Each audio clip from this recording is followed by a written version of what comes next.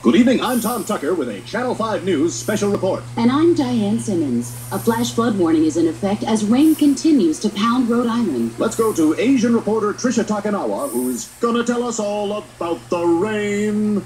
Tom, residents all over Quahog have been affected by the heavy rains, although some are doing their best to ride it out. For example, I'm here with Rides at 10 Speed Everywhere guy. Sir, why are you riding your 10 speed in the rain? I don't mind. A little drizzle never hurt anybody. Uh, I like riding the 10 speed because it's fun, uh, gives me energy, and it's a great way to stay in shape. How long have you lived in Quahog? Well, I used to live in the city, but I decided moving here would be a little more relaxing, a little more manageable, and it's a great way to stay in shape. What do you do for a living? I work in accounts receivable at Quahog Insurance. Uh, it's not too demanding, the pay is good, and it's a great way to stay in shape. Well, we should wrap this up. You're getting wet. Well, I'm living life before the cancer I have kills me, so uh, I don't mind the rain. Water feels good on my skin. It's cool, refreshing, and it's a great way to stay in shape. What kind of cancer? It's rectal cancer. It's slowly eating away at my lower insides. Uh, it's a quick process, both painful and untreatable, and it's a great way to stay in shape.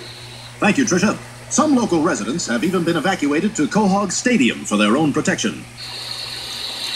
Why do I have to stay here? Why do I have to safe. stay My here? house is But dry. my house is a- dry. If you're looking for a bathroom, it's all around you.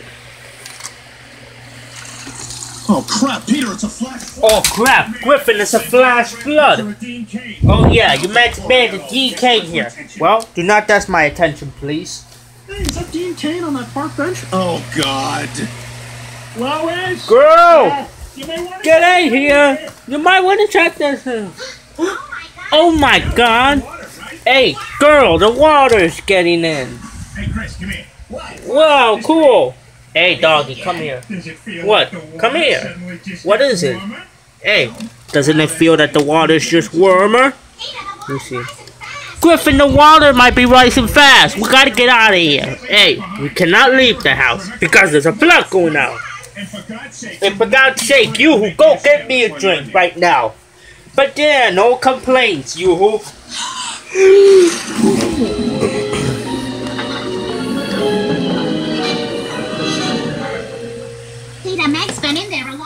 Griffin, you who has been in there for a long time. Hey, I hate to explain it to you. Go get him! Well, Lois, I am sorry. Well, girl, I'm sorry earlier. for You the were show. right to criticize You're things. right to criticize Yuhu. He was not. He does not really likes to be tested. For God's sake, go save him!